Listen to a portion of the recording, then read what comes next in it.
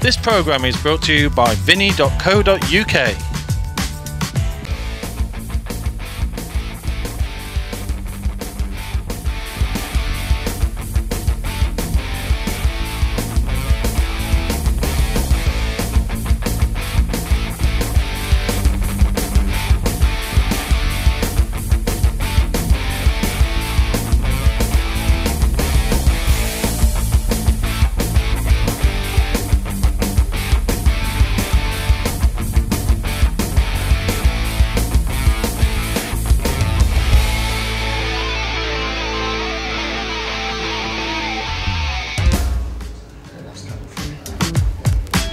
Players Club here in Castle under Lyme for a brand new event. Live pool back on your screens here on Free Sports. It's the Vinny.co.uk Champions League. Steve Jameson and Simon Webb back with you once again on Monday nights. It's good to be back, Simon.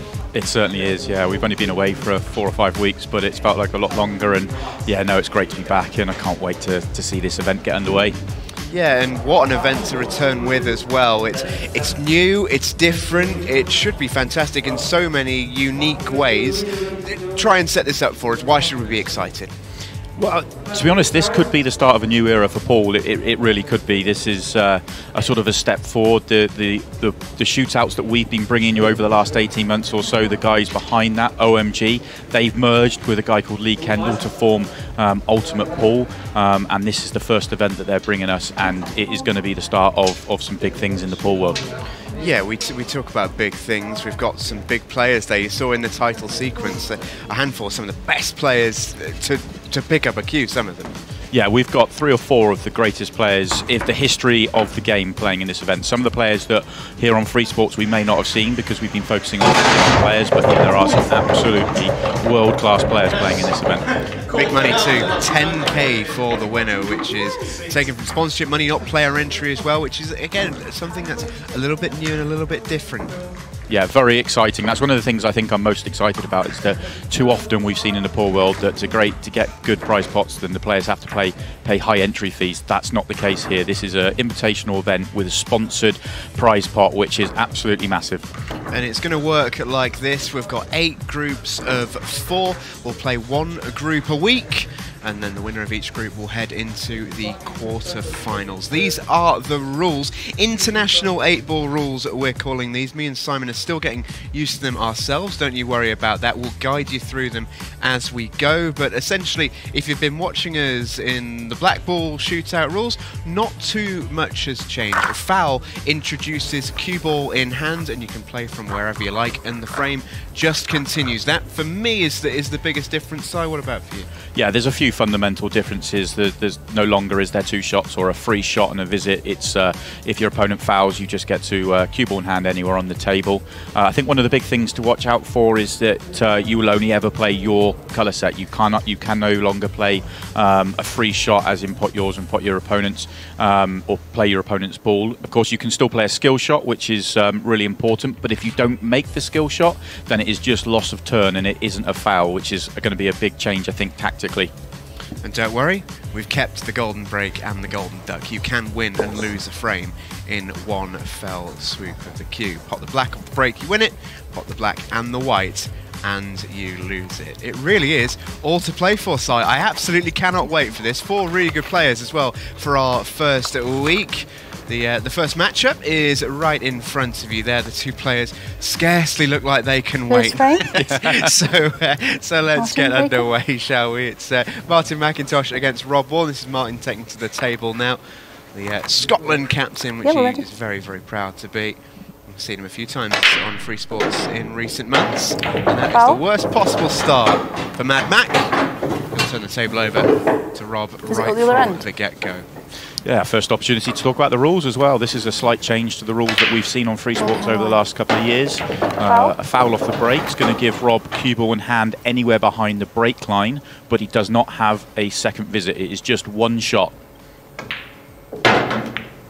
Immediately going after yellows and potting the yellow there. That means that yellows are now in play.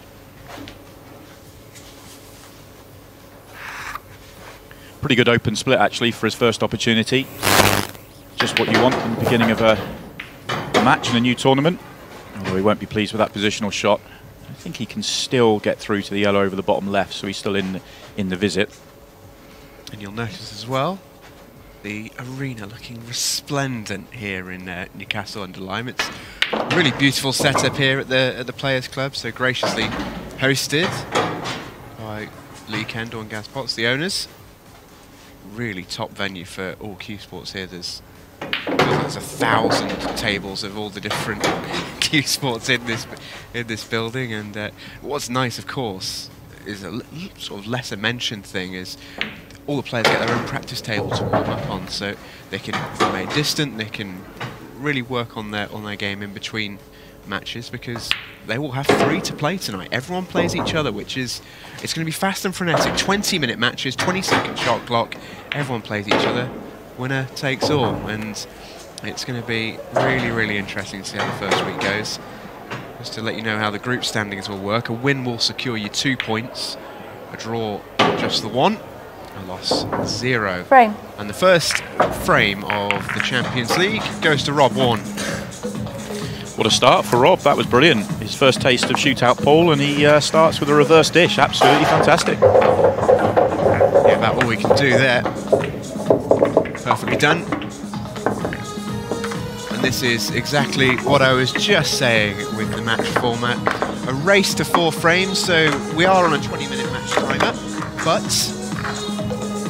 if you get four on the boards, it's game done and dusted. You can take a, an early shower. Yeah, it's, uh, it's the, the, format of the, the matches is pretty much what we've seen in the shootout over the last uh, 18 months or so. Uh, I guess the big difference really being the fact that we've got group stages, so you're going to have to sort of keep an eye on that. And um, yeah, every minute's really going to count out there.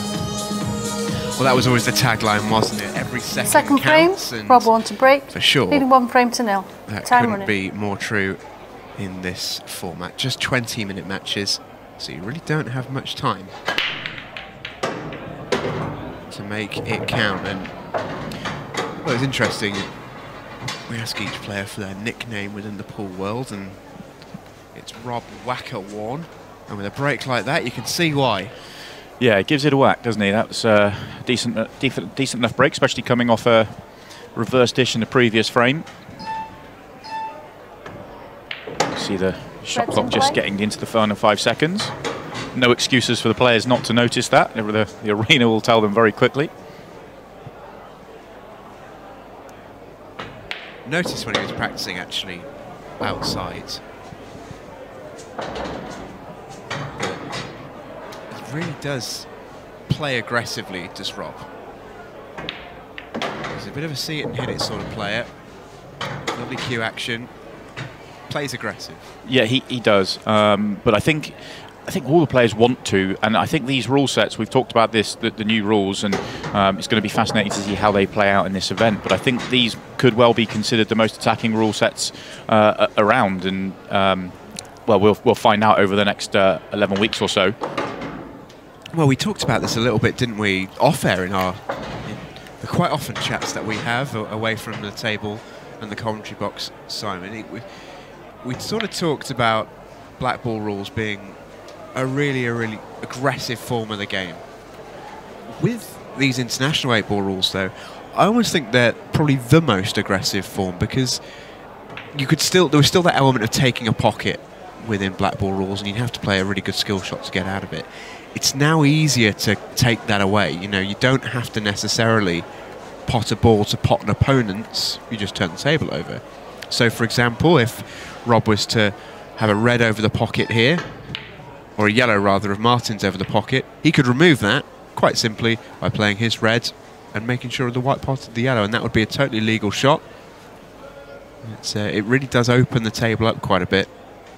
Yeah, I agree. I think uh, we're going. I think we'll well, we'll find out. We'll see how the, the players adapt to it. I think that the one thing I think for players that people have, who've been involved in pool and, and keeping up to date with what's going on in the world should, will know these rules under a different uh, name. They've been played for a few years now um, under the, the name Supreme Rules. Um, we've got a, a name change for this event. Um, but also, the, the other thing with these rules, they're, they're closely aligned to what's played in, in China and what's played in America. Um, so there's some real benefits to, to going to this rule set as well. It's also the rule set that's most commonly played by amateur players such as myself on miniclip, for example, Yeah, which I- is which is where I feel that I can really play to my strengths as a pool player. yeah, absolutely. I think well, uh, so, so Don't I'm- agree too much, all right? So I'm told that the, uh, the the game. I've not played it myself, but I've been told they're very similar rules. Uh, so anyone that's played that will know these very well.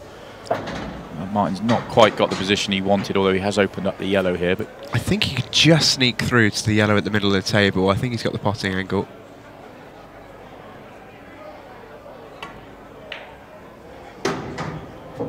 It's nicely played. A rather, uh, rather more demure Martin McIntosh than we've been used to seeing. Usually, the uh, the Ian Poulter of the pool world is uh, Martin with his uh, display of hosiery, but uh, this is relatively laid back by his standards. Well, I, I don't think it's by his doing, actually. I think uh, there's a, a new, as we're into a new era of pool, there's a new dress code out there as well. I think it's, uh, there'll be some personality shown um, with their cl- clothes choice, but I think it is going to be darker trousers or more plain trousers. So, um, yeah, it's uh, not what Martin wanted, but he'll be, ha- he'll be happy with the clearance, that's for sure. He's on the board. Yeah, he certainly will be happy with that, and it's it's one thing that we've noticed really with with Martin in the numerous times we've seen him play in, in shootout pool in, in recent months is he, he has got the ability to look phenomenally talented in individual moments, but just doesn't quite always have that consistency. Yeah, I think uh, Martin's a he's a, a really good lad, and he's a he's a top player. He's a great potter. He, controls the white well around the table, but he gets a little bit lost with his patterns at times, and it's something he's worked hard to try and improve. And he's from when I first saw him play two years ago to, to now, he's he's definitely improved dramatically as a ball player. Um, but he keeps putting himself out there against great players, uh, and he's learning every time he plays. So we're going to continue to see that improvement with him. Yeah, I think there's scarcely a more game individual on the pool circuit than Martin McIntosh. He really is. Come one, come all. He will give you a go. Absolutely. Although one thing we haven't mentioned yet with Martin, and it, we, we probably should, is the fact that he's turned up today without a cue. Um, he went to the to the club that he practices at to, to grab his cue, uh, brought the case down without checking. When he got here, opened his case, and there was no cue inside. so somebody Who- is whose whose key is he using, sir? he, he's actually uh, he's actually having to use mine. Um, well, it's, it's nice to, to get, for it to get out and have a bit of an airing, as I've not touched it for a couple of years. Uh, First time it's been on TV in a little while. it's definitely the first time it's been on telly for a while. Um, it, it had half a tip on it as well. So I said, "You're more than welcome to borrow my cue, but you might want to re-tip it." So uh, rather than having any practice, he spent his time this afternoon re-tipping re, uh, tipping the cue. Is it a bit like seeing your ex with another partner? Well, it's just nice to see somebody uh, using it uh, like they should. Yeah, he's done pretty well so far as Mad Mac. He's handed the table over here to Rob, though. With a bit of work to do. I tell you what, what a recovery that is. oh, that's lovely. You'll be able to tell me, Simon, how intentional was this? This was, if deliberate, unbelievably good. No, he. I mean, there's no way he's, he's tried to play that. He's ju- you saw a raise of the hand there. He's just tried. That was his big target. Hit the red at the top of the table and and hope not to leave an op- easy opportunity. The fact it's gone in, brilliant for him because it's given him a great chance. The two reds at the bottom of the table. The one near the two yellows does go to the bottom left. The one that's going to be a big problem is the one just above the black. Uh, it goes to the left centre, but it's not easy to get onto it in the left centre.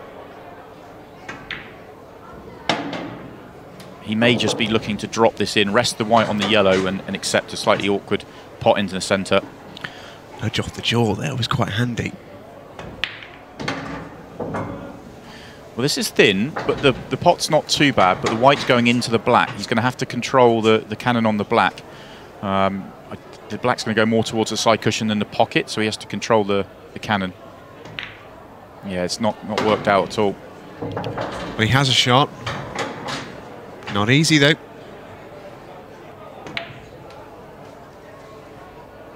Oh, he's unlucky. He's unlucky. That's a good go. It goes without saying that these have to go for Martin McIntosh. and that's not easy to do when you look at the yellows at the bottom of the table. Black's blocking the bottom right hand corner. Tough pot in the middle to start with as well. Okay, he's missed the pot, but he does have the snooker. If he can't get between the two yellows on the right-hand side by that centre pocket, then this might be slightly harder. I'm not sure the one cushion off the left-hand side's on either. This is tight and awkward.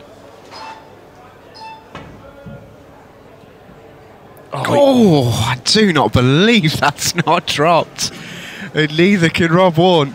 He'll have just been thinking any contact and I'm home and hosed. Uh, it's impossible to hit this and not pot it. Well, uh, that's what I thought. Look at that. That's incredible. And what's worse, he's actually, those yellows at the bottom that were awkward, he's left Martin an angle now where he can open these up. Yeah, that one in the centre. Easy to play on the other one that he's nearest to in a shot or two's time.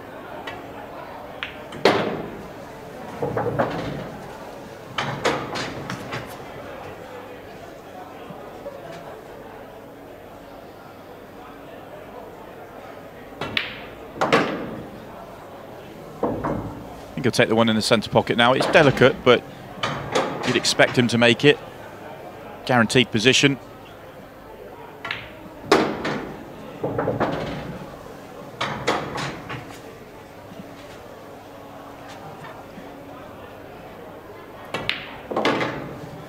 Problems for Martin. This will annoy Rob. That was a good opportunity to win the frame. He's not taken, and Martin's punished him. It's a strange old game this at times, isn't it? That is absolutely remarkable. Just looks like it was begging just to be pushed into the pocket. But it, it didn't drop, and I mean, that can happen. I mean, we were having actually a little knockout on the on the tournament table a little bit earlier, Simon. It plays absolutely beautifully, doesn't it? Yeah, it's a brand new table. It's uh, a Supreme Pool table that's been released. It's a brand new style from them. I believe it's called the Match. Um, so it is a, a brand new uh, everything really. Um, brand new cloth on there as well, which is playing beautifully. It's really nice and quick, but it's also very responsive, and I think the players are going to really enjoy it out there. Yeah, absolutely. And for Martin McIntosh there, 2-1 up. This, is, this could be a could be a great start for Martin here. He's, as we mentioned, consistency can be his issue, but in such a short format. We used to see him in short formats, but it doesn't get much shorter than this. He, actually, a player like Martin might find his home in this tournament because it may only require those sort of bursts that he's so good at just to walk away from games. Yeah, I think so. I mean, these groups are going to be tough to call all the way through, but looking at the group today, Martin will start as the outsider. At, that's how the bookies have seen it um, on paper. But the one thing Martin has going for him, he's played in a, in a number of shootouts. Um, okay, we've seen Jimmy Croxton on the screens in a shootout before, and he played a, a four to one uh, a month or so ago. Um, and we and Josh Kane played one shootout event, uh, but this is Rob Wharne's first first go in a shootout, so he's going to have to get used to the sort of pace of play. Uh, so Martin's definitely a chance today. It's, it, it is an even group.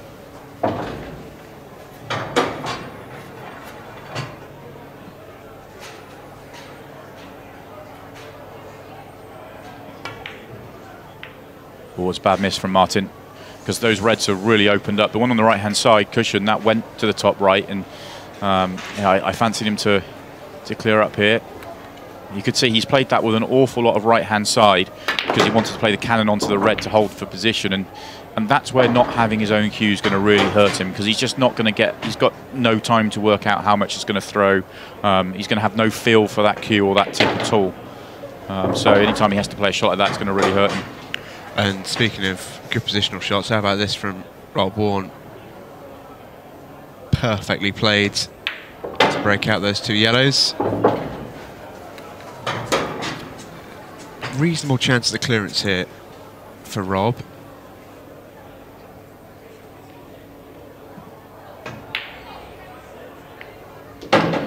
Excellent pot to the corner. That was probably the key there for him because that was the hardest pot he's going to have left.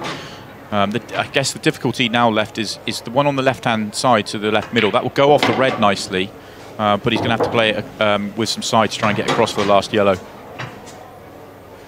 look for him to play this one off the red rather than direct.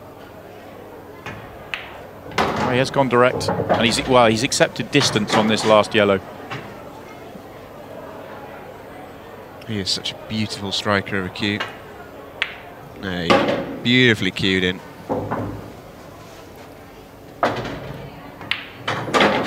Frame. 2-2, seven and a bit minutes to go. when Rob Wharne squares it up. It's a brilliant clearance.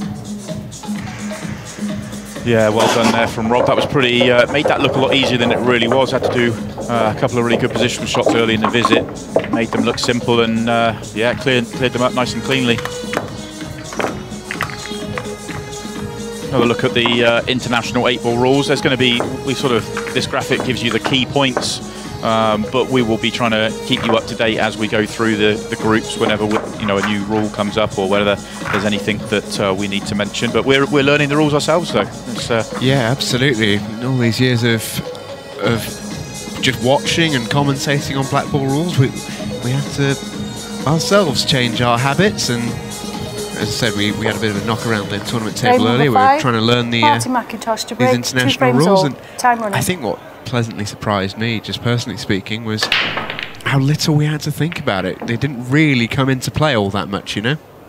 Yeah, it's. I think to anyone that's not used to or hasn't, you know, hasn't got used to a different rule set, I think these will be the most simple to understand. Um, you only ever play your colour set, um, and it, it is I think it will be fairly simple for people to pick up. Those that have been playing it and are used to a different uh, different rule set, whether that's Black Ball rules or World rules, it, it may take a, a, little bit getting used to the, the tactical side of the games, the way you might play a shot slightly differently uh, on the tactical side. But when you're clearing up the balls, it's still the same. You've still got, you know, you've still got to clear up, you've still got to work your patterns out, and you've still got to control the white around the table. Martin gave the table a a Scottish snarl at the end of that last break that came up dry. Unhappy that he was denied a ball down. And Rob here with a chance to seize the initiative in this one. That's a lovely little kiss. Thought he'd knock that yellow safe for a moment, but that's come out, well, it's come out nicer than it could have. Yeah, I, for a minute I thought that was going to go really safe. It, it's still awkward enough that he has to hit a gap of the table to, to land on it, uh, and he can't do it off this next shot. And the longer he leaves it before getting on that ball, the harder it's going to become. He hasn't come far enough down the table this time. Don't think this yellow goes in the centre pocket. That's a tough shot, this. He's taking it up the table, so taking the pocket, I think he was probably not really giving that much hope of trying to pot it. This is where you might see something interesting if Martin, for example,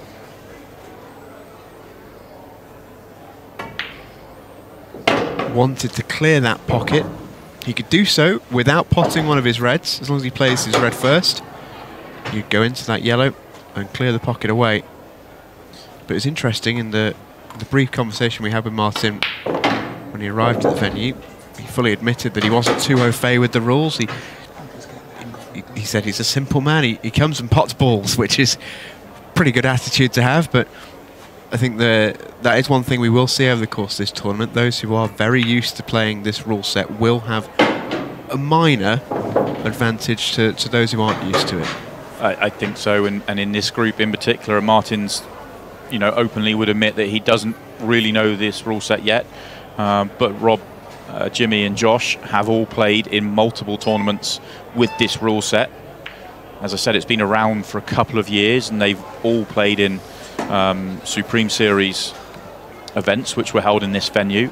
Um, and especially with, with Rob and, and, Jimmy, they've, they've had success in this rule set as well. So um, they definitely have an advantage. Yeah, it's a good time to mention, actually, the other two players in this quadruple man group Josh Kane and Jimmy Croxton. Two very, very, very able cue artists. That's it. So Actually, a pretty handy shot that from Martin, Martin McIntosh. He clears away the pocket. You can see there the, the slight the slight grimace from him. I think instantly his first thought is foul, but no, that's a legal shot. Hands yep. the table over, and actually gives himself an advantage. That's our first look at that happening. Um, okay, he wasn't trying to do it on that occasion, but he's put his red onto the yellow and the yellow's gone in. That is not a foul in this rule set. That is just uh, loss of turn. So Rob Wharne comes to the table and he plays from where the white finishes, and that's it. There's nothing else to, to talk about with that. So um, Martin probably walked away thinking he'd fouled, but not the case. Uh, hasn't played a great second uh, safety shot though, so the good chance here for Rob. Yeah, he, he almost fluked a brilliant shot and then didn't quite actually back that up. And Robbers sees the advantage here. Rice smile from Martin. Not what he wanted. 3-2 to Rob Wharne. Just under three minutes remaining. It's by no means a decisive lead. A reminder, we will take the score at 20 minutes, regardless. A chance still for Martin McIntosh here to square things up. With it being 3-2, it means it is Rob's break next, and a chance for him to win the match. Race to four. Gets to four ahead of the clock striking zero, he goes and takes the two points regardless. And this is where Rob's inexperience in shootout rules may hurt him because uh, he's not used to having this sort of match situation, the match Frame clock, where um, you need to sometimes be a little bit cagey eight. with how you play. Um, three frames to two. It's to his Time advantage winning. for these balls not to really open up. Uh, the worst thing he could do is break dry and break big. Or by hook or by crook, it's a pretty poor break, but he has made a ball as well, which is almost the, the dream scenario for Rob there. But still a long, long way to go because we see this quite a lot. Three minutes in with a 20 second shot clock is actually a lot, lot of time. Absolutely. There's uh, there is time. Martin doesn't have to rush it in terms of um, looking for a finish. He can wait for the right opportunity if he wants to. So that's still open table here, even though Rob made a ball off the break, hasn't made a ball with his visit. So it's open table for Martin, reds or yellows. His choice is Red reds. balls in play. You can hear from our referee, Viv back from the Mosconi Cup. Only does the big events, Viv. And he does the big events. Fantastic to see her out there as well.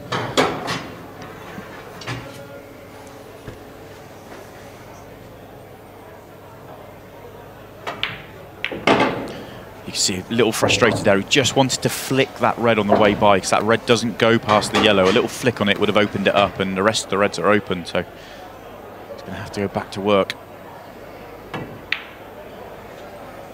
Oh, that looks a little wide to me, yeah. That is a, a chance wasted. 90 seconds then for Rob Wharne with which to work. And as you mentioned, shootout experience could be key. Advice here to Rob from shootout experts, myself and Simon, would be to pot the easy balls and chew as much clock as you can. Yeah, pop one or two. Try and uh, maybe take a pocket or two of your own. Stop your opponent from having a, an easy opportunity. There we go. That's just nudged over the pocket. No interest in potting that one. Martin does have a pot in the centre, but he's got nothing else afterwards. He's got a minute with which to work. Very much still in play here for Martin McIntosh. So this is where Martin probably should float the red down on top of the yellow and try and get the white to the bottom cushion. There we go. So he has. He said he hasn't been looking at the rules, but he's obviously definitely uh, given it some thought. 41 seconds, yeah. Don't sit down, Martin. Every second counts. So that's just to reiterate, that is not a foul, that is just loss of turn. And that's where we're going to see the differences in the tactical play. Oh, that could also be a canny shot. Oh, that's lovely. Yeah, that time it's better for Rob for that not to go in because he's really blocked that red off at the top of the table. And Martin is is done here.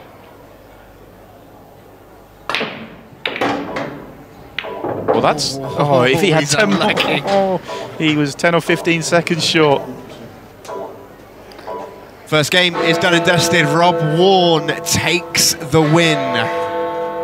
A win for Wacker to open things up here in the Vinny.co.uk your Champions. League. A great start for Rob and just about shed it in the end, but it just shows there's not a lot between our two players, Simon. No, both players were very competitive there, and it's going to be very tight all the way through tonight. Yep, our first win is underway, which means match number two of six is coming up when we come back.